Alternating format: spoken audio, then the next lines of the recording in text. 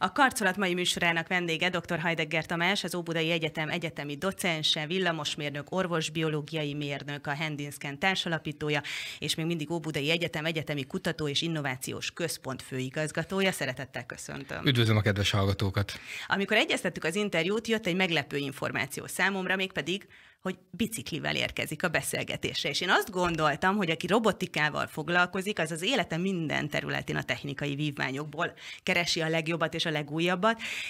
Hogyha hobbiról van szó, ha kivételesen nem robotokkal foglalkozik, mert ha jól tudom, 0-24-ben ezt tölti ki az idejét, akkor mi kapcsolja ki? A családom elsősorban, úgyhogy van három gyönyörű gyerekem, Igen. feleségem, hogy gyakorlatilag ők a, a nap 24 óráját örömmel kitöltenék. Ehhez képest azért van szerencsém úgy kezelni, beosztani a dolgokat, hogy a családbarát egyetemünk beengedi mondjuk például hogy a közösségbe a családokat is, tehát amellett, hogy most nyit például az egyetemi bölcsödénk, Igen. a robot laborban is sűrű vendég, főleg a nagyfiam, és hát be kell vallanom, hogy egyes robotjainkat nagyobb készséggel és ügyesebben kezeli, mint én magam. Hány éves?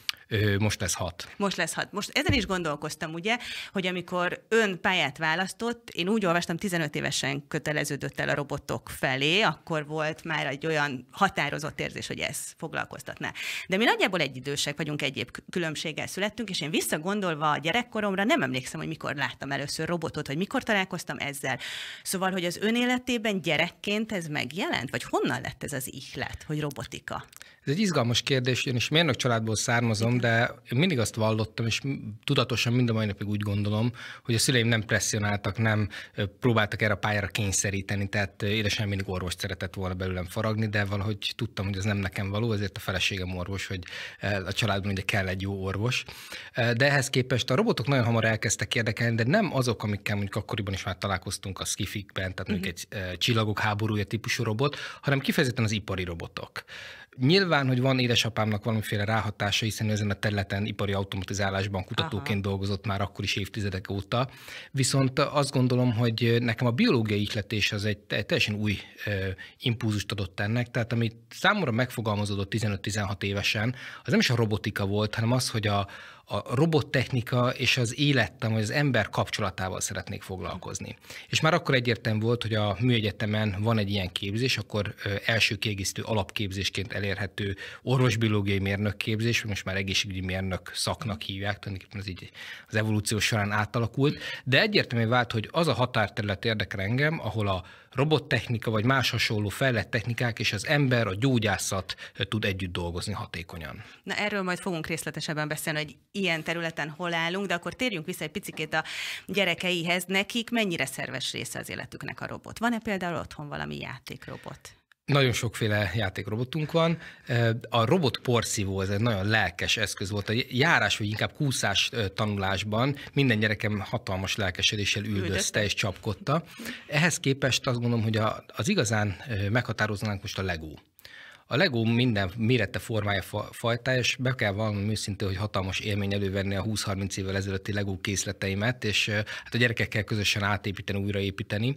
Tehát nem feltétlen az, hogy robot legyen, nem feltétlen az, uh-huh. hogy autonóm működjön, de az építésnek a, a hát műszaki alkotásnak az öröme, ha szabad így mondani, ennek a gyerek leképzése, ez abszolút jelen van a család életében. De ha jól gondolom, azért nincs is annyira messze ez a kettő, vagy lehet azt mondani, hogy a Lego egy picit ilyen alapozásnak jó is, nem? Tehát ugye a logikai készség, a térlátás és sok minden olyat fejleszt, amiből aztán lehet majd robotika. Így van, az egyik legfontosabb dolog a, a kombinációs készség, a térlátás, az a fajta analitikus gondolkodás, az ember építő kockákból össze tud valamit rakni, és ezt megértse, és ezt nagyon kiskorban el lehet sajátítani, és ebben nyilván meg a kézügyességnek is nagyon jó tesz. Emellett azért el kell ismerni, hogy a Legónak kifejezetten jó, tehát szakemberek által tervezett robotikai fejlesztő Igen. készletei vannak, ezeket mondjuk inkább a kisiskolás kortól ajánlják, de számukra mind a programozási alapismereteket, mind pedig a mechatronikai alapismereteket segít elsajátítani.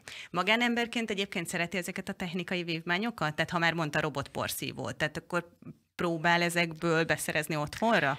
Érdekes szinten? módon nem rajongok értük különösebben, tehát hogy nem fogott meg sose ezt, hogy nekem mm. otthonra kell mindig a legjobb, a legújabb, ki kell próbálnom, meg kell néznem.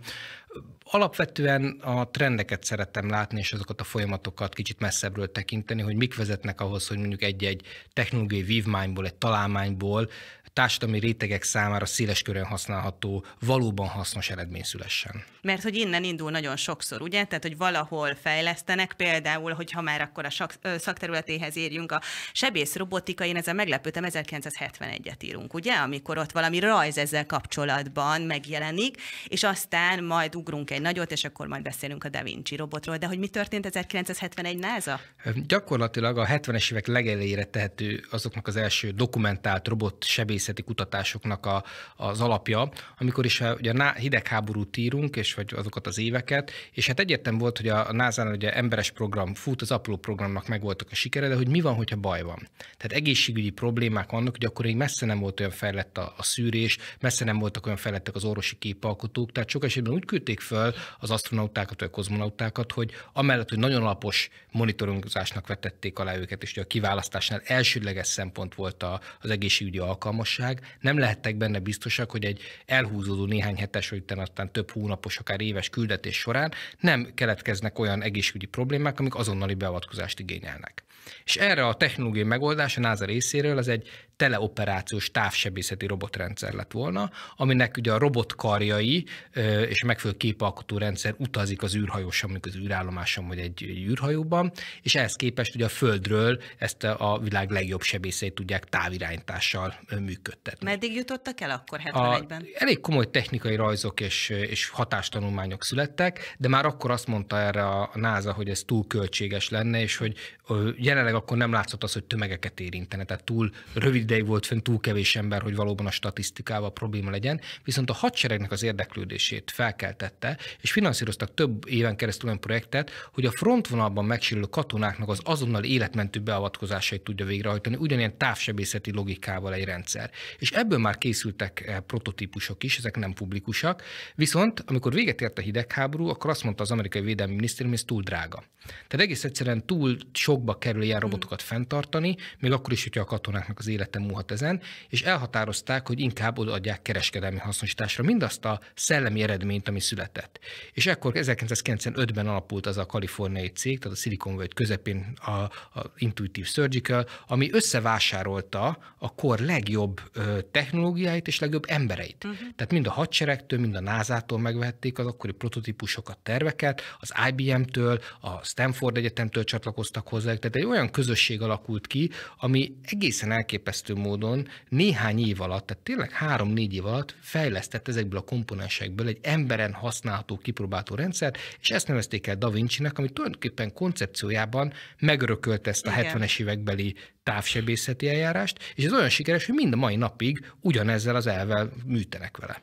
Hát ha valaki ezt még nem látta, én is csak onnan tudom, hogy láttam róla videót, meg képet, hogy az orvos ül egy monitor előtt, ahol ő 3D-ben, vagy hogy látja? Igen, 3D-ben ez volt az egyik korai újítás. Igen, és akkor a kezét, ahogy mozgatja, azt átveszi a robot, és amit az orvos csinál mondjuk 10 centiben, azt a robotkar megcsinálja 10 mm-ben, tehát sokkal a kis... esetében ez egy a 10 tehát még egy centiméterben, de tulajdonképpen valóban így lehet pontosabb beavatkozást elérni, hogy lassan, kényelmesen tud műteni az orvos, és mintha egy háromdimenziós joystickot mozgatna a térben, azokat a mozdulatokat követi le a betegen belül az a csipesz, vágó vagy bármilyen más egyéb eszköz, amit bevezettek. Hány ilyen Da Vinci van a nagyvilágon, és mennyire használják a mindennapokban? Jelenleg hozzáadólag 7900 robot üzemel, ez azt jelenti, hogy a fejlett országokban főleg ez egy teljesen elterjedt, széles körön elterjedt rendszer lett, és tavaly évben 1,8 millió beavatkozást hajtottak végre. Hm. Tehát azt lehet mondani, hogy bizonyos típusoknál, tehát például az Egyesült Államokban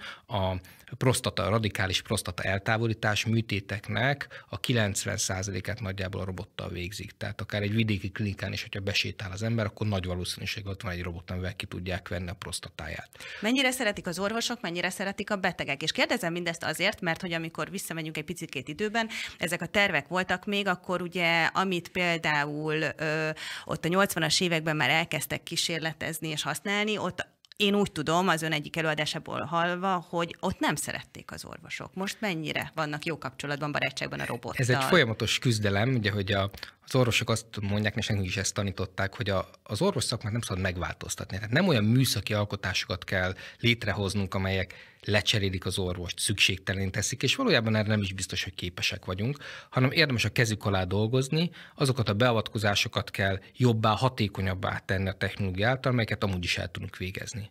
És tulajdonképpen pont a, a Da Vinci típusú sebészetnél ezt lehet látni. A Da Vinci egy közepes sebészből és egy nagyon jó minőségben operáló sebész tud faragni, hiszen a teljesítmény állandóságot növeli, azáltal, hogy ergonomikus pózban tud ülni, ezáltal könnyebb az orvosnak végezni, Nem kell és a látórendszer is sokkal ugye, jobb például? minőségű. Így van. El lehet kerülni hosszú távon azokat a hát, nyak és egyéb Hmm. problémákat, amik a laparoszkópos minimál invazív sebészetnél a tartásból keletkeznek. Ez nem jelenti azt, hogy mindenre alkalmas. Hmm. Tehát a nyílt beavatkozások esetében nagyon sok olyan van, amit sokkal nagyobb területet érint, sokkal összetettebb, több eszközre van szükség. Tehát a, a robotnak mai nap megvan az a szűk alkalmazási területe, elsősorban nőgyógyászat, urológia, izületi sebészet esetén, ahol nagyon jó szolgálatot tesz. És vannak más típusú robotok is, tehát nem csak a Da Vinci van, azért ezt meg kell említenem, tehát ortopéd sebészetben egy más paradigma ö, tudott tulajdonképpen sikerre ö, jutni olyan szempontból, hogy az ipari automatizálásnak az a fajta előre tervezett valódi robotikus végrehajtási koncepcióját tudták sikerrel alkalmazni a csontsebészeti beavatkozásoknál, ahol fúrni, vágni, reszelni kell, tehát valamilyen módon előre tervezhető, és ugye egy kemény szövetem. Mindannyian el tudjuk képzelni, látszövetek esetében, amikor egy hasüregben bármiféle beavatkozást hajt végre a sebész, hogy akkor szinte megjósolhatatlan előre, hogy hogyan fognak utána állni a szervek. Most egy csontot befogunk egy olyan keretbe, vagy egy koponyát tudunk rögzíteni gyakorlatilag elmozdulásmentesen, akkor feltételezhetjük, hogy mindenféle egyéb élettani funkcióktól eltekintve, hogy az előző nap vagy aznap reggel készített úgynevezett preoperatív felvétel, tehát mondjuk egy CT felvétel, egy MR felvétel, és az azon meghatározott területek, amiket a műtétnek alá szeretnénk vetni, azok nem változtak. Mm. Tehát ha berajzoljuk ott a számítógépen, igenis itt kell levágni azt a csontvéget, hogy oda kell egy furatot elhelyezni, akkor ezt a robot pár órával később nagyon nagy pontossággal és teljesítmény állandósággal meg tudja csinálni a betegen is. Pontosabban, mint egy ember? Pontosabban, mint egy ember, így van. Uh-huh.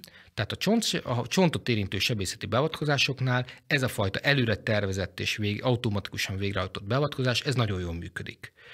Ugyanakkor nyilván, ha valami változás történik, elmozdul a beteg, vagy közben rájönk fél, hogy hupsz a másik lábát és hasonló, akkor nyilván ez egy nagyon nagy kockázatot jelent. És tulajdonképpen ez az oka annak, hogy a Da Vinci-t megelőzően már egy tíz évvel korábban elkezdtek ilyen elsősorban térd és csípő, protézis beavatkozásokat támogató robotokat fejleszteni, de ezek nem tudtak a kereskedelmi forgalomon gyorsan elterjedni, és a Da Vinci 90-es évek végén, 2000-es évek elején bekövetkezett robbanásszerű elterjedése után jutottak csak szerephez tulajdonképpen, és most vannak fel, feltörőben ugyanúgy, hiszen a robotsebészet úgymond szexi lett, tehát a, főleg nyugaton betegek jelentős része erre hát nem is igényt tart, de hogy azért büszkén újságolják a nagypapák, hogy hát én olyan modern vagyok, hogy engem robottal műtöttek. Nem akarok nagyon szőkenő lenni, de mi van akkor, hogyha lefagy egy robot műtét közben? Mi van akkor, hogyha nem tudom, tüsszent az orvos, és ugye a kezében van az a joystick, amivel ha, nyilván, ha ő csinálja, akkor ugye elkapja a beteg fölül, de ha fogja, szóval Ilyenkor mit csinál a robot, vagy mi van Igen. ilyenkor a robottal? A jó és a rossz hír az, hogy a, mondjuk a Da Vinci esetében, amikor ilyen távsebészeti rendszerről, teleoperációs rendszerről beszélgetünk, akkor tulajdonképpen ugyanaz történik, ami amúgy is. Tehát, hogyha a sebész úgymond nem jó mozdulatokat tesz, szándékosan vagy nem szándékosan hibát vét, akkor azokat a robot gondolkodás nélkül végre, hogyha nincs mérlegelési lehetősége. Uh-huh. Amikor a tüsszentés, az pont olyan példa, hogy ez kiküszöbölhető, hiszen ilyen hirtelen nagy mozdulatokat uh, tudunk szoftveresen észlelni, és azt mondja, na, ezért ez biztos nem szándékos volt, itt nem, nem akart az a penge arrébb menni 40 cm-rel. Viszont olyan esetekben, ahol uh, úgy tűnik, mint egy tudatos, szisztematikus, normális műtéti beavatkozás történne, ezt a jelenlegi kereskedelmi rendszer nem tudja felülbírálni. Pontosan ilyeneken dolgozunk a laboratóriumunkban, hogy azokkal a szoftvertechnológiai elemekkel, neurális háló alapú tanulórendszerekkel, kamerakép feldolgozással, plusz szenzorok integrálásával képesek legyünk például automatikusan detektálni, hogyha valami nem úgy történik, ahogy elvárjuk. Hosszabb ideig tart egy műtéti beavatkozás. Olyan eszközök jönnek meg, amiknek nem kellett volna. Olyan mellékhatásnak tűnő, olyan vágásokat tehet az sebész véletlenül, olyan vérzések keletkeznek. Ezeket ma már egész jól lehet detektálni, elsősorban a képfeldolgozási eszközökkel, és ebből lehet egyfajta plusz, hát, hát nem is intelligenciát, de egy döntéstámogató rendszert felépíteni, ami igenis akkor vészjelzéseken keresztül, vagy egyéb módon kommunikál a sebész, hogy úgy gondoljuk, hogy valami nincs rendben, és akkor a sebész hozza meg a megfelelő döntést. Ezt egy orvosnak egyébként külön meg kell tanulni, hogy hogy kell mondjuk egy Da Vinci-t irányítani. Egyszer láttam valamilyen tudományos ö, dokumentumfilmben, hogy ilyen kis túlzással, de ilyen játékos képzésen vesznek részt az orvosok, kapják a joystickokat, és akkor így ezzel trenírozzák magukat, hogy hogy kell úgy térben látni, hogy kell úgy kezelni, hogy nem alattuk van a beteg, hanem egy robotnak adják a kezükkel ezt az információt. Ez mindenképpen igényel egy mentális átállást. Uh-huh. Annak ellenére, hogy azért a jelenlegi jogszabályok szerint itt Magyarországon is a Da Vinci műtéteknél ott kell lenni az orvosnak a szobában. Tehát nem lehet az, hogy akkor az óceán másik végén van, meg megszakadt a kapcsolat, és akkor nem működik. Ettől függetlenül elképzelhetők olyan technológiai leállások, technikai problémák, amik utána újra kell indítani a robotot. Műtét közben akár? Műtét közben akár, igen. De ez egy, azt gondolom, hogy ez egy és rutin feladat olyankor, és a legrosszabb esetben, ami történhet, az az, hogy vissza kell állni mondjuk hagyományos kézi laparoszkópus eszközök, mm. tehát nagyon könnyű eltávolítani a robotnak a, beteg oldali karjait, és akkor helyette a kézi eszközöket visszavezetni. Be lehet fejezni ha, az orvosnak Így van, tehát inkább egy korábbi módszerrel mm. fejezik be. Ha az se sikerül, akkor úgynevezett konverzió, tehát fel kell nyitni a hasüreget, mm. hogyha egy olyan beavatkozás van, és akkor kézzel kell befejezni. Amúgy ez egy nagyon komoly kihívás lesz a szakmában a következő 10-15 évben, hogy ahogy nyugdíjba vonulnak azok a sebészek, akiknek ez a fajta manualitás tapasztalata, kézügyessége megvolt, a robot sebészetben fölnövő generációnak hiányzik a, a rutin. Hm. Tehát ők nem tudnak úgy egy bonyolult műtétre mellé állni a betegnek, hogy hát nem csináltak még ilyet. Uh-huh. Azt mondják, és ez úgy általánosságban igaz, hogy kb. egy száz robotos műtétre van szükség, az ember igazán megszokja, és ne legyen semmiféle teljesítménycsökkenés ehhez képest. Az elején, a kezdeti fázisban itthon is minden olyan sebész, aki, aki ugye odaengednek utána a robothoz, az megkapta a kötelező oktatást, és utána, ahogy említette is, van egy szimulátor, amit tudnak gyakorolni. Ennek hallatlan nagy jelentősége van. Tehát a szimulátort úgy kell elképzelni, hogy fizikailag ugyanaz előtt a konzol előtt ül a doki, ugyanazt a, vagy bocsánat, sebészorvos, ugyanazt a, a konzolt nézit, de abban egy virtuális valóság kép jelenik meg, ami hát, tulajdonképpen sebészeti feladatokat ad neki. Lehet, hogy színes kockákat kell rámolni, lehet, hogy mm. gyűrűket kell végighúzni különböző drótpályákon, viszont ezek a mozdulatok úgy lettek kidolgozva és kialakítva, hogy nagyon hasonló kézügyességet és szemkész koordinációt igényelnek, mint a valódi sebészeti beavatkozások során, amire szükségük van. És ezen keresztül, ha elsajátítják a gép kezelését, az eszközöknek a használatát, sokkal jobb minőségben tudják a meglevő sebészeti, humán sebészeti készségeiket adaptálni a robotsebészetben. Egy interjúban úgy fogalmazott, hogy 10-15 év alatt hihetetlen nagyot ugrottunk. Mármint itt a robotika területén nagyon nagy változás. Ön se gondolta volna, hogy ez egy ilyen gyors léptékű változás lesz. Az orvossebészetre is igaz ez, illetve a, a következő tíz évben ez még tovább fog gyorsulni? Mit gondol? Van még hova? Vagy ezt, ezt lehet inkább szélesíteni? Most mondott pár területet, ahol ezt a mondjuk Da Vinci-t lehet használni, és akkor inkább az lesz az irány, hogy szinte mindenhol be lehet majd vetni, nem az, hogy sokkal, nem tudom én, modern, másabb robotok jelennek meg? Mind a kettő igaz egyszerre, tehát nagyjából egy 17-18 éve foglalkozom ezzel a szakterülettel kutatóként, és ha belegondolok, Da Vinci akkor is létezett. Igen. A robotok, vagy más mondjuk ízületi sebészeti robotok akkor is léteztek már. Ezeknek nyilván sokkal fejlettebb, kifinomultabb, jobb, gyorsabb, vagy ott esetben pontosabb rendszere jelentek meg, de a koncepció nem változott. Ami viszont most nagyon megváltozott az elmúlt pár évben, és azt gondolom, hogy ehhez képest egy robbanásszerű növekedést, vagy inkább fejlődést fog eredményezni, az az, hogy a szoftvertechnológiák, tehát jelesül a képfeldolgozás és a tanuló algoritmusok olyan megbízhatóságúvá nőttek, gyarapodtak, vagy fejlődtek, fejlesztettük őket, ha úgy tetszik, hogy a legkülönbözőbb problémákra be lehet őket már vetni. És amíg tíz évvel ezelőtt arról beszélgettünk, hogy hogyan lehet egy konkrét robotnak, egy konkrét mechanikai, mechatronikai rendszerét egy konkrét beavatkozásra optimalizálni, uh-huh. ma arról beszélünk, hogy mik azok az univerzális robot architektúrák, robotrendszerek, amik egyre több mindent fognak tudni ellátni, azért mert a szoftver olyan lesz rajtuk, hogy meg fogja tudni tanulni azokat.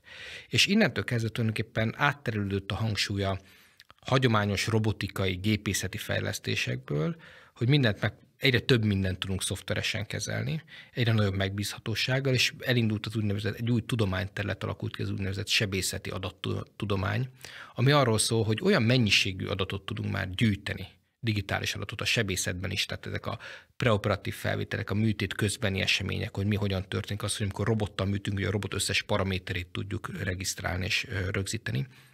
Ezekből mind-mind-mind-mind megfelelő tanuló algoritmusokkal ki tudjuk hámozni a lényeget, és el tudjuk kezdeni, hát ha nem is felkészíteni a jövő robotsebészét, de mégiscsak azokat az algoritmusokat kidolgozzuk, amik jelenleg már-már egy-egy könnyű műtéti részbeavatkozás, részfeladatot el tudnak autonóm módon is látni. Autonóm módon, tehát maga a robot van. csinálná? Így van, tehát öltésvarrás, sebzárás, vérzéscsillapítás, tompa preparálás, különböző idegen testeknek az eltávolítása, a kamera hozzáállítása a sebészeti jelenethez, tehát nagyon eszközcsere, nagyon sok olyan relatív egyszerű feladat van, amit ma már laboratóriumi körülmények között meg tudunk könnyen csinálni a Da Vinci típusú rendszereken is. Az, hogy ezek hány év alatt és hogyan fognak egy kereskedelmi rendszerbe bekerülni, innentől ez azért ez egy hogy kell üzleti kérdés is, hiszen a gyártó biztos, hogy nem kockáztatja, hogy mondjuk a hírnevét tönkretegye valamiféle kétes hátterű fejlesztéssel, ugyanakkor meg a megjelent 10-12 versenytárs, akik csak az elmúlt pár évben léptek piacra és színre, ők értelemszerűen megpróbálnak majd ezekből minél több mindent megvalósítani, hogy valamiféle előnyt tudjanak felmutatni a klasszikus Da Vinci-vel szemben ne legyen soha ilyen. De ha úgy alakul, befeküdne egy ilyen robot alá, ami autonóm műti? Igen? Gondolkozás nélkül? Hát most a, az a jó hírem van, hogy az egészségügyi hatóságok nagyon-nagyon szigorú feltételeket szabnak ahhoz, hogy mit lehet egyáltalán műtőben használni. Tehát ez nem úgy van, hogy az ember a garázsban összetákol valamit, áttolja a szomszédos kórházba, bedugja a konnektorba, és akkor tessék műteni vele. Különösen ugye 2020 óta az MDR van, tehát az európai szinten ez a törvény erőre emelkedett, szabályozási erőre lépett az orvostechnikai alkalmazásokat szabályozó rendelet, és ez azt jelenti, hogy minden gyártónak az alkatrészektől kezdve a szoftverfejlesztési módszertanán át a végterméknek minden lépésig, mindent minőség biztosítania kell, és tanúsítania, hogy azok a folyamatok, amin keresztül létrejött egy orvostechnikai eszköz, azok bizonyos szabványoknak megfeleltek, azok bizonyos előírásokat követnek, és azok biztonságosak. És tulajdonképpen ez még a szoftverre is igaz. Tehát például, amikor mesterséges intelligencia módszereket akarnak egy kereskedelmi formában kapható termékbe bevezetni, akkor a tanító adatbázistól kezdve a tanítási paramétereken át nagyon sok mindent rögzítenie kell a cégnek, hogyha esetleg később baj és probléma lesz, akkor ezek visszakövethetők legyenek, hogy ugyan hol mi ment félre. Ezen keresztül próbálja a piacot, vagy próbálja a hatóság, illetve az európai hatóság a piacokat ö, arra kényszeríteni, hogy csak nagyon biztonságos rendszereket használnak emberem. Említette, hogy a robot majd megtanulhat sok mindent azokból az adatokból, amiket most gyűjtenek, de volt egy olyan gondolata is, hogy ezekből az adatokból például majd kiszűrhető, hogy mitől jó sebész egy jó sebész, és például az oktatásban ez nagyon jó információ lehet majd, ugye, hogy ezt így úgy amúgy kellene csinálni, és akkor talán mondjuk 98%-osak lesznek az eredmények. Az egyik kulcskutatási területünk az a sebészeti készségek, képességek felmérése. Hagyományosan együttműködünk a Semmelweis Egyetemmel, és itt az Óbudi Egyetemen vannak ugye a, a mérnökök, mérnök kollégák, akik a rendszereket megépítik, üzemeltetik, a szenzorokat felprogramozzák, utána az adatokat kiértékelik, és hát a másik oldalon meg pedig vannak a sebészek, vagy rezidensek után, akik, akik generálják az adatot. És ez a fajta együttműködés ugye folyamatos fejlesztésre, fejlődésre inspirált minket, és tíz évvel ezelőtt, amikor elkezdtünk ilyen egyszerű manuális dobozokon gyakorlatozni, és mondjuk kameraképpel, vagy valamiféle egyszerű követővel nézni, hogy na, hogy mozog a vége az eszköznek, eljutottunk odáig, ugye, hogy nagyon bonyolult, kifinomult erőnyomatékmérőktől, szabályzóktól, mélységkamerán át nagyon sok paramétert tudunk rögzíteni, és ezeken keresztül, ahogy is említettem, gyakorlatilag modelleket építünk föl, hogy na, hogy dolgozik egy sebész. És megpróbáljuk összehasonlítani. Megnézzük azokkal a matematikai módszerekkel, amiket ismerünk és alkalmazhatunk, hogy időtartományban, frekvenciatartományban, hogy kell analizálni ezeket a jeleket, hogy a lehető legtöbbet tudjunk belőle leszűrni, és emellett ugye ezeket visszavezetjük, hiszen ha meg tudjuk határozni, hogy mitől jó egy sebész, és ezt matematikai nyelven leírni, akkor ezt a tudást tudjuk a robotba is megpróbálni beépíteni. És akkor ezáltal ő is jó sebész lesz. Előbb-utóbb ezáltal a robot is jó sebész lesz, de azért azt meg kell jegyeznem, hogy amiről így elsősorban tudunk most kutatás szinten beszélni, az a manualitás, tehát a manuális skill, hogy ki mit hogyan mozgat. A döntéshozás, a kognitív készségek, azok sokkal bonyolultabbak. Foglalkozunk ezzel is, tehát az úgynevezett nem technikai készségek felmérésével. Stressz tűrés, kommunikáció, ki mennyire tud intuitív módon megoldani komplex problémákat. Tehát nagyon-nagyon összetett az a, az elvárás rendszer, amiben kell működni egy jó sebésznek, és ennek minél több részét tudjuk objektivizálni, annál több nem vissza tudunk vezetni már az oktatásra és a képzésre, hiszen erre föl tudjuk kép, készíteni hatékonyabban mondjuk a rezidenseket hallgatóink, nézőink is tapasztalhatják, hogy hihetetlen tudás az, ami önben összeadódott, és nagyon sok díja is van, dolgozott külföldön is, kutatott ott is, ösztöndíjjal Egyesült Államok, Ausztria is, és mégis itthon tevékenykedik, robotika területén, aminek kapcsán én azt gondolom, hogy aki nem ért ehhez, azt mondhatja, hogy hát azért Magyarország nem a lista élén van. Japánt mondanám inkább, vagy mondjuk Koreát mondanám. Szóval sok olyan ország van, Egyesült Államok, amiket előre tennék de mégis itt van. És azt mondja, hogy nem is kell nagyon máshol lenni, mert már itthon is lehet tulajdonképpen mindenhol lenni, meg hát amiket az Óbudai Egyetemen csinálnak, mind munkák, mind kutatások, azok a nemzetközi platformon is ott vannak, a világtérképre fölrakták az egyetemet. Én azt hiszem, ez az utóbbi a legfontosabb, tehát hogy megvannak azok a alkotóműhelyek, és ilyen szempontból nagyon szerencsés vagyok, az elmúlt tíz évben kaptam lehetőséget tényleg rektori szinten, hogy építsünk olyan kutatóközpontot, robottechnikai központot az Óbudai Egyetemen, ahol világszínvonalú kutatásokat tudunk folytatni. Ehhez kell olyan eszközpark, ez kellettek azok a kapcsolatok, a nemzetközi kapcsolatok, Egyesült Államokból kaptuk azt az első Da Vinci-t, a onnan, onnan tudtunk pályázni, hogy fizikailag Bécsben megkapjuk a robotot. Kellett az a kutatói közösség, aminek a részévé tudtunk válni, akinek engedélye van. Összesen a világon 40 olyan központ van, aki a Da Vinci-vel ilyen színvonalú kutatásokat tud végezni, mint mi. Ez a közösség, ez megosztja egymással az eredményeit. Tehát nem csak konferenciákon publikálunk, és utána majd nevetünk a másikon neki több év reprodukálni, hanem az egyik legelőremutatóbb és legsokoldalúbb trend az, hogy nyílt kódbázissal, tehát olyan módon hoznak létre szoftver technológiai eredményeket kutatók, hogy ezt felrakják az internetre. Ez az open source módszer, Az open source-nak, így van, az mhm. open source-nak gyakorlatilag a megfelelés, ez a, uh-huh. ugye az open research, open data, tehát nagyon sok mindent érint, hogy büszkék vagyunk arra, hogyha más használja mi eredményeinket. De milyen és szinten, bocsánat, adják át? Hát azért mégis ez az önök szellemi terméke, tehát száz százalékban oda, minden... Így van, odaír az ember elején, hogy, hogy created hogy ki, ki csinálta, uh-huh. kinek a szellemi terméke, de utána ezt, ezt tovább használatra átadja.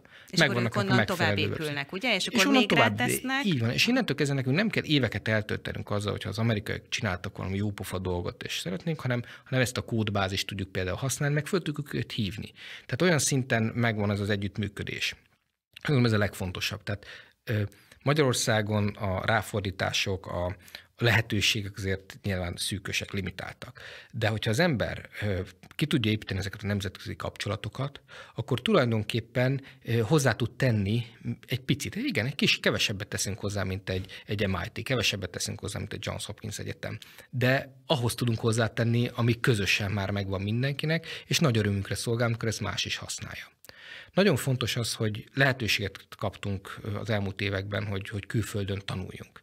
Tehát volt több külföldi ösztöndiam, az idei év előző hat hónapját azt például Kanadában töltöttem a Queen's Egyetemen vendégprofesszorként, tehát hm. egész egyszerűen ilyen alkalmakkor tanulhatja meg az ember, hogy mondjuk sokkal több pénzből, sokkal több ember, hát mi sokkal okosabbak vagy nem az viszonyítás, de ugye nagyobb merítésből tudunk dolgozni, mi mindent tud megcsinálni.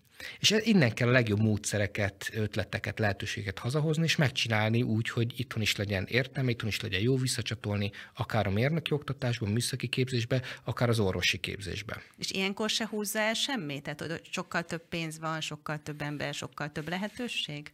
Hogy megállapítottuk, az a sehol nincs kolbászból a kerítés.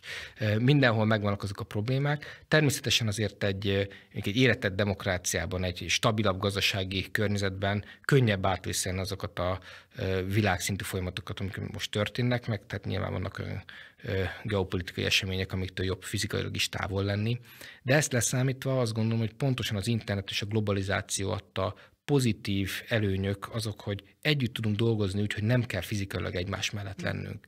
Az, hogy napról napra úgy tudunk meetingek sorozatán részt venni, tárgyalásokon, megbeszéléseken, szakmai egyeztetéseken, hogy különböző kontinensen vannak a kollégák. Lehet, hogy soha nem is találkoztunk velük, de mégis össze tudunk dolgozni. Ez egy hallatlan nagy lehetőség, amit azt gondolom, hogy a jövő generációnak még jobban ki kell majd használnia, hogy még többet tudjunk elérni rengeteget dolgozik, nagyon sokat tart előadást külföldön és konferenciákra jár, illetve most is fogalmazott, tanult is most éppen fél évet külföldön. Családi életet, három pici gyereket, ezt hogy lehet így összeegyeztetni? A felesége mennyire szokott boldog lenni, amikor azt mondja, hogy hát megvan a következő repjegyem? Én igyekszem egyensúlyban tartani a dolgokat, erről nem, nyilván neki lehet, hogy kicsit más lesz majd a véleménye. Viszont ha őszinte akarok lenni, akkor azt mondom, hogy nagyon látja ő is, tehát ezt, ezt sok áldozatot meghozott azért, hogy, hogy én ezt az életvitelt folytathassam, fenntarthassam. Sok helyen kompromisszumot kötünk, tehát azt gondolom, hogy amikor a, a koronavírus beállta előtt a nagyfiam egy 10-12 konferencián vett részt, akkor nagyfiam, tehát akkor volt, hogy három éves, 10-12 konferencián vett részt velünk, mert, mert az volt a módi. Tehát ha én el akartam menni, akkor nem hagyom itthon a családot, hanem, hanem elviszem őket. Tehát tudtunk olyan kompromisszumos megoldásokat teremteni, ami, ami mindenkinek jó, de természetesen ez, ez nagyfokú rugalmasságot igényelt a család részéről mindig is. Ha már a koronavírust említette, akkor szintén Óbudai Egyetem Messventil projekt, ugye? Ezzel kapcsolatban is hihetetlen az a fejlesztés, amit ott nagyon gyorsan el kellett indítani, és aztán most már a sokadik prototípus van, vagy gép van, Talán vagy már előbb is járunk, tehát most már úgy gondolom, hogy, hogy ténylegesen termékkoncepciókat tudunk gyártani. Ugye erről azt érdemes tudni, hogy itt a Kozowski dékán úrnak volt az a gondolata még az első lezárás kapcsán, hogy hát mi itt ülünk, mérnökök hazaküldtek mindenkit, teljesen értelmetlen, ahelyett, hogy, hogy a megoldáson dolgoznánk. Hm. És ugye akkor az volt az elsődleges probléma, amit mindenki látott, hogy nincs elég számú lélegeztetőgép, ahány betegnek szükség lesz erre, és az akkori görbék rettentően rossz irányba mutattak és felhasználva a korábbi légtechnikai, búvár oktatás és egyéb tapasztalatait, egy olyan lég technikai mechanizmust álmodott meg, amit utána a kollégákkal sikerült prototípusra is fordítanunk, aminek a, a egyetlen központi vezérlőegység adja a, a, mondjuk mondjam, a nyomásszabályozását, meg az egész légtechnikának a kulcsát, viszont akár 10-20 beteg is felfűzhető egyéni szabályozás mellett, tehát mindenkinek egyéni lélegeztetés valósul meg, de a központi egységet az sikerült így egyetlen tömbbe átszervezni. Ez egy költséghatékony és, és modulárisan egy nagyon jó bővíthető rendszernek indult el. Az első pár hónapban nyilván egy házi alkatrészeből, mint a robotlaborban fel lehető dolgokból eszkábáltunk össze egy, egy kezdetleges prototípust, és akkor látszott az, hogy erre lehet, hogy igény is lesz. Onnantól kezdve beindult egy fejlesztés, kaptunk rá céltámogatást, az egyetem mellénk állt, a rektor úr személyesen nézte hetente, hogy ki hogy halad, merre, hogy mit csinál. Tehát tulajdonképpen nagyon jól sikerült ezt ezt egy közösségi célá fejleszteni, és ennek megfelelően több száz fejlesztő csatlakozott az online térben, szoftverfejlesztők. Tehát ez volt egy kis maga, aki ugye be tudott járni és dolgozni ott maszkban, elkülönülve a több minden mástól, de a fejlesztésnek egy nagyon jelentős része az egy online közösségi munkában valósult meg. És amikor a, nem tudom már, hanyadik hullám után egy kicsit úgy alább hagyott ez még nyilván az oltások segítségével egy kicsit tudtuk kontrollálni itt a negatív potenciális kimeneteket, akkor látszott az, hogy, hogy ezt érdemes lehet még így is tovább fejleszteni, hiszen nem konkurensei akartunk sose lenni a hagyományos orvostechnikai lélegeztetőgépeknek, hanem egy új megközelítést bevinni egy katasztrófa elhárításra, egy hadsereg alkalmazás esetében. És egy nagyon sikeres, tradicionális magyar orvostechnikai céggel sikerült megállapodnunk, hogy ezt a szellemi terméket, az eredményeket, a szabadalmat, a prototípusokat mind-mind együtt vigyük tovább, és hát most már ott tartunk, közösen alapítottunk erre orvostechnikai ipari tanszéket, együtt pályázatokat nyertünk közösen, és hát az a csapat, aki elindult, az egy bővült egy professzionális fejlesztőgárdával, akiknek az a célja, hogy ezt néhány éven belül valóban termékké fejleszék.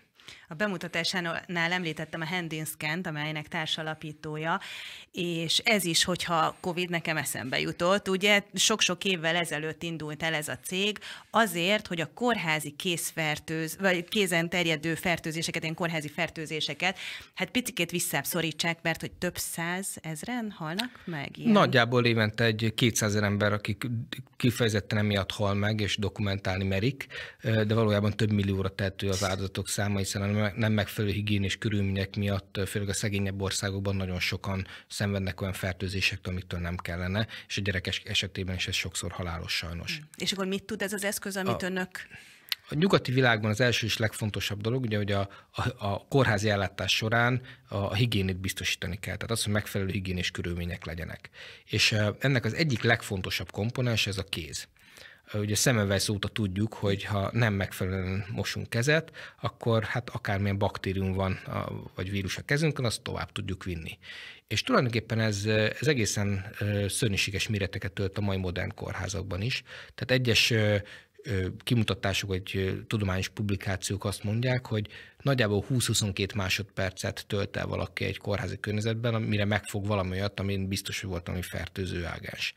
Tehát nem biztos, hogy az, az rögtön egy halálos, mm. multirezisztens kórokozó, viszont hogy nem ciszta már a keze, az biztos. Úgyhogy tulajdonképpen a WHO most már 22-23 éve folyamatosan azt oktatja, tanítja, propagálja, hogy az alkoholos készfertőtlenítőket tessék használni integráltan a betegellátáshoz, tehát hogy mielőtt hozzányúlna az orvos a beteghez, Értem, hogy a, miért belépett a szobába, vagy miért belépett az osztályra, már kezet mosott, de eltett közül, körülbelül tett 50 lépést, fölírt valamit, lehúzott valamit, megmérte valakinek a lázát, valamit fölírt a lázat, tehát gyakorlatilag a beteg ellátásban ott és akkor mindenhol az alkoholos készfertőtlenítést tud egy, egyfajta védelmet nyújtani, mint az orvos számára, úgy a nővér számára, mint a beteg számára.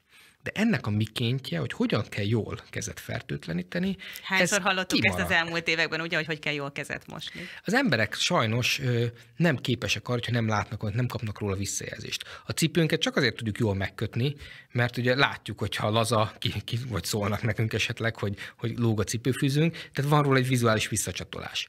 Az, hogy az ember egy, egy, egy géllel vagy egy folyadékkal, ami áttetsző, megfelelően befette a kezét mm. mindenhol, és ott 20 másodpercig ki tudta fejteni azt a az antibakteriális hatását az alkohol, ezt nem tudjuk felmérni. Mi szokott kimaradni? Mit mutat az eszköz? A, és pontosan erre fejlesztettünk egy digitális eszközt, ami képfeldolgozással meg tudja mondani azt, hogy mit hagytak ki az emberek, a hüvelykúj, uh-huh. a domináns kéz, eh, kézhát elsősorban, illetve az élek plusz az új végek.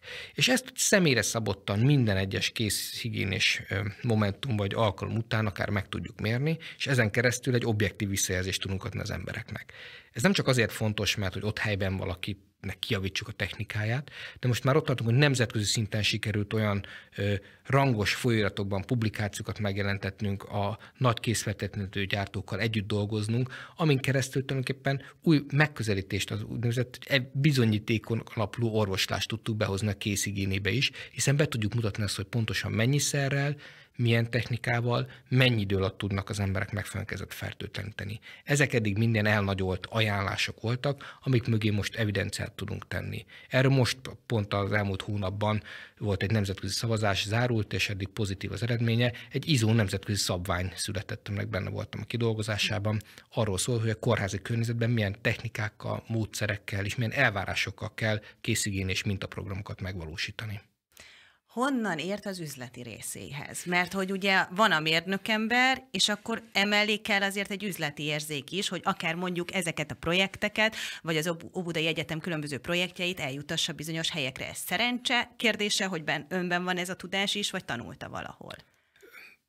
érdeklődés volt bennem mindig. Gondolom, hogy, hogy kiskorom óta az egyik legnagyobb ajándék, amit kaptam szüleimtől, tanáraimtól, pedagógusaimtól, az a, az a tudás iránti vágy és az érdeklődés nyitottsággal álltam mindig az új területek iránt. 2003-4-ben volt a Ifjabb Duda Ernő kezdeményezésére egy, egy biotechnológiai menedzser képző program, amire pusztán neve alapján én bejelentkeztem, ez nagyon érdekel engem, és egy olyan tizen alkalmas sorozat volt, ami az alapján megismertem ezt az egész vállalkozói létet, elsősorban egy biotechnológiai fókusszal, de az uh-huh. összes élettani vállalkozásra ezek jól alkalmazhatók, és egy olyan kapcsolati háló alakult ott ki, akikből sokan később kollégák lettek, mentoraink, mentorainká váltak, vagy éppen üzleti partnereinké. És onnantól kezdve folyamatosan jártam innováció menedzsment kurzusokra, képeztem magam, ahol lehetett, és hát az üzletben pedig hát kénytek voltunk helytállni, bár megjegyzem, hogy azért az első pár üzleti terv, amit készítettünk itt a Handlisken vonalon az alapítókkal, azért az nem állta ki az idők próbáját, tehát nem, nem egy könnyű feladat, amit az ember csak úgy könnyen el tud sajátítani, de itt nagyon nagy szerencsém volt, olyan alapító társaim voltak, például kifejezetten Róna Péterre gondolok, aki, aki sokkal jobban értett a számokhoz nálam, és sokkal több mindent tudott megtervezni, de persze azt valóra is kell váltani. Csak azért kérdezem, mert hogy olvastam, hogy az Óbudai Egyetemen volt, van, nem tudom, egy ilyen képzés is a hallgatóknak, hogy ne csak a mérnöki tudásuk legyen meg, hanem ezt ugye el is tudják majd aztán adni. Az Óbudai Egyetemen is a hivatal, tehát a NKFH hivatal támogatásával az egyetemi innovációs ökoszisztéma fejlesztése folyik évek óta. Ezzel azt kell érteni, hogy küldetésünként tettük, hogy mi, mi vállalkozói és innovációmenedzsment ismeretet adjunk át a hallgatóknak. Ez egy központosított úgynevezett Hungarian Startup University programon keresztül valósul meg egyfelől, tehát kredites kurzusként hallgathatják az érdeklődők, és nagyon népszerű a program, uh-huh. tehát az Óbudai Egyetemen is az egyik legjobban teljesítő csapat állt össze szerencsére, ahol akár a két fél év alatt mentorok, mentorok és befektetők, angyalbefektetők segítségével meg is valósíthatják már a diákok a saját ötleteiket, elképzeléséket. Ezen túlmenően az egyetem nagyon nagy hangsúlyt helyez arra, hogy ezt a fajta ö, alkalmazási szemléletet minél szélesebb körben meghonosítsa. A, most van akkreditáció és reméljük, hogy sikerül jövőre elintenünk az innováció management doktori iskolánkat, ami egy abszolút áttörést jelent majd ezen a területen nincs még ilyen az országban, tehát a legmagasabb szinten tudunk majd innováció management képzést folytatni és kutatásokat. Emellett pedig nagyon fontos az, hogy a, a fenntartónkhoz tartozik az a Rudolf Kálmán, az Óbrai Egyetemért ezt adjuk a Széchenyi tőke alap, tehát van egy kockázati tőke alap, tőke társaság az érdekcsoportban, a cégcsoport, csoportban, akiknek ugye az a feladatuk, hogy megkeressék és felkarolják azokat a nagy innovációs tartalommal rendelkező cégeket, ahol a tőke hiányzik már csak, és azon keresztül tudunk nemzetközi sikertörténeteket faragni. Említette, hogy szexi robottal műtetni magunkat. Mennyi, mennyire szexi robotokat tervezni, mennyire szexi most 2022-ben a mérnöki kar? El tudnak-e jutni a fiatalokhoz úgy, hogy ne csak játszon egy robottal, ne csak jó móka legyen drónt röptetni, és akkor sok minden példát lehet még mondani a mostani fiatalok, ami iránt érdeklődnek, hanem hogy tényleg érdekelje őket az, hogy ők maguk tegyék ezt a programozás részét. Az egyik fő ok, amiért itt ülök, hogy szeretném mindenkinek elmondani, hogy nem vagyunk elegen. Tehát, hogy, hogy én nagyon élvezem, amit csinálok, azt gondolom, hogy, hogy hihetetlen sok öröm és élmény van abban, az ember megérti, megtanulja, megszereti azokat a dolgokat, amik a, áthálózzák az életünket technológiai oldalról egyre inkább, és ezekhez hozzá is tud tenni adott esetben.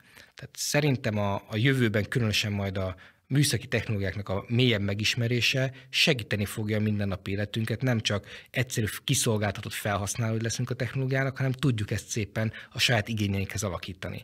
Ezért a természettudományos ismereteknek a minél magasabb szintű, lehetőleg egyetemi szintű elsátítása, az azt gondolom, hogy mindenki számára ajánlott, úgyhogy legszívesebben mindenkit arra kapacitálnék, buzdítanék, hogy gondolkozzon abban, hogy milyen mérnöki pályát tud vállal, elképzelni magának, hiszen itt is nagyon sok egy építészmérnök és egy informatikus között azért nagyon igen.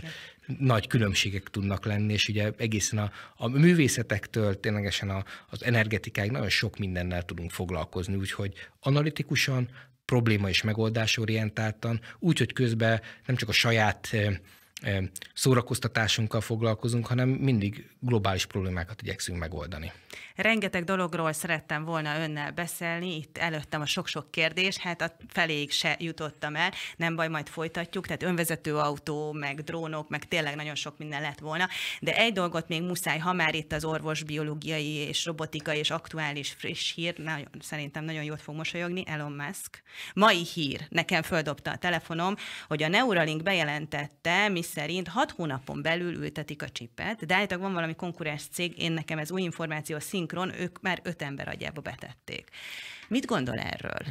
A hallgatók, nézők kedvéért, tehát röviden arról van szó, hogy csipeket tudunk ültetni az agyba. Ez nem újdonság, nagyjából 20 éve kezdtek ilyen kísérleteket, elsősorban emberszabású majmokkal, illetve Rizus majmokkal, és nagyon jó eredményeket értek el olvasási területen azonnal, tehát hogy tudtuk az elekt- beültetett elektrodokon keresztül akár a mi agyi struktúráknak az elektromos agyi jeleit olvasni, hm. sőt, tehát szerintem csótányokkal ezt megcsináltattál már a 70-es évek végén. És ehhez képest ugye, ami az igazán nagy áttörés, tehát hogy írni is tudjuk, tehát hogy programozni tudjuk-e az agyat. Tehát be tudunk-e jutatni olyan elektromos jeleket, amitől úgy hirtelen az ember nem is érti, miért, de mást gondol, vagy más hogy gondol. Azért dolgokat. ez ijesztő. Ez nagyon ijesztő, ennek a hosszú távú potenciál ez elképesztő. És amit a, a Neuralink is elkezdett csinálni, hogy egy olyan gyártástechnológiát dolgoztak ki, amivel a korábbinál nagyjából egy nagyságrendel nagyobb, tehát már nem százas, hanem ezres ö, finomságú tűs hálót kell elképzelni, amin keresztül ezt be, beszúrják az agyba, tehát minél több ponton tudjon érintkezni a, az agyszövettel, az ide, adott esetben idegsejt szinten tudjon kapcsolatot létesíteni.